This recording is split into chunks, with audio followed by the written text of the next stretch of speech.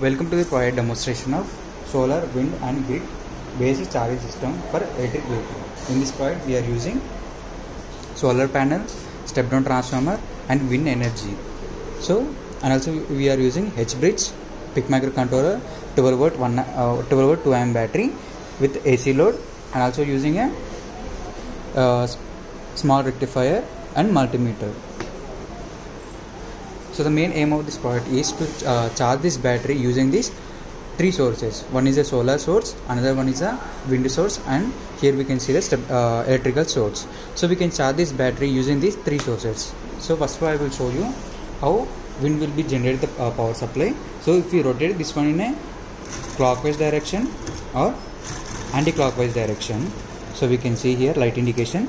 So it will generate a power. That power will be given to this rectifier.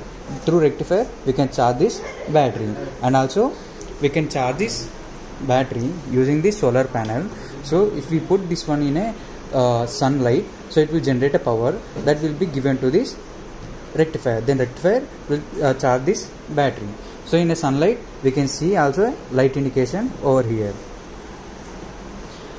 And also here we can see we are using a step down transformer. So uh, we will give uh, 230 volts of power supply from this cable. That will be uh, given to this step up step up step down tra- transformer primary side and will step up step down up to 12 volt 1 amp that will be given to this rectifier. So rectifier converts AC to DC through converted DC will be given to this 12 volt 2 amp battery.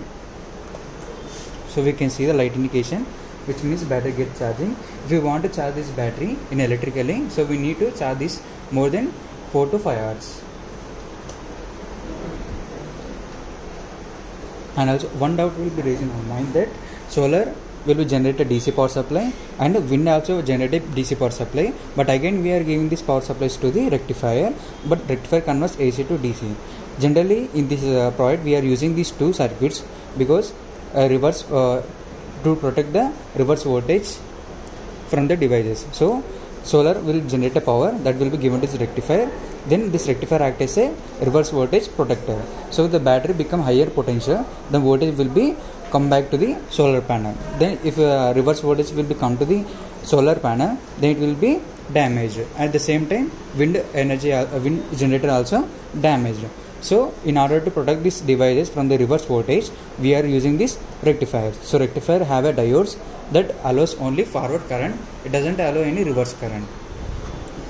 And we can see here rectifier. Here rectifier act as a uh, AC to DC converter. It takes AC voltage and it is a full full wave bridge rectifier. Then will convert up to uh, 12 volts DC that 12 volts DC will be given to this battery directly. And also we can on the AC load using this bridge rectifier. So the bridge rectifier acts as here inverter. So inverter generally converts DC power to AC power. So we can see here inverter. So this is the battery connection of the inverter H bridge rectifier and this is the output of the H bridge rectifier and these are the signals. So the signals will be generated by this PIC microcontroller. So we can see these connections are connected with the pin number C0 and C1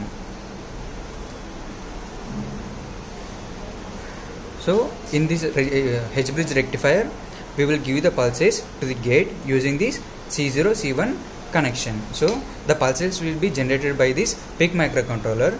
That pulses will be given to this each gate of this MOSFET boards. So this is the full uh, full way H bridge converter.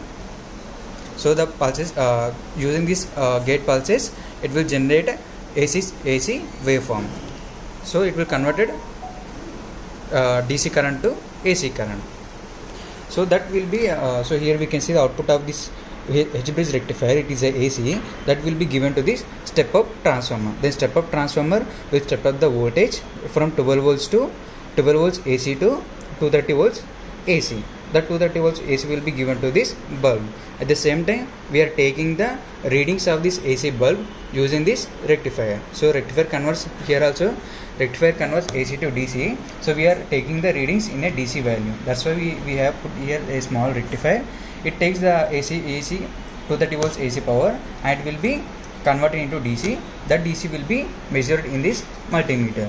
So we need to set this one in a 200 and after that we need to see the values. Now for the pic microcontroller to on the pic microcontroller we need to switch on this one.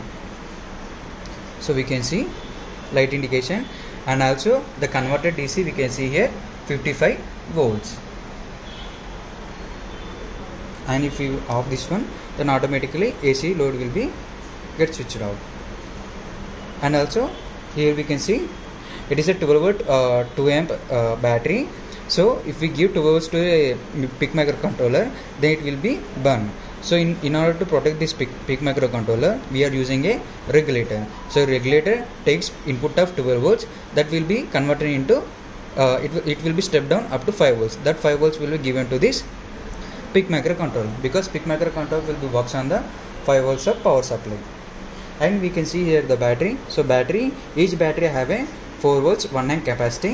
So if we add the batteries in a series so voltage will be added remaining current will be same. Now it now this this will be a 12 volt 1 amp capacity. So 12 volt 1 amp capacity if we add in a parallel then it will become a current will be added and the remaining voltage will be same. So it will become a 12 volt 2 amp battery. In this way this product will be works. Thanks for the watching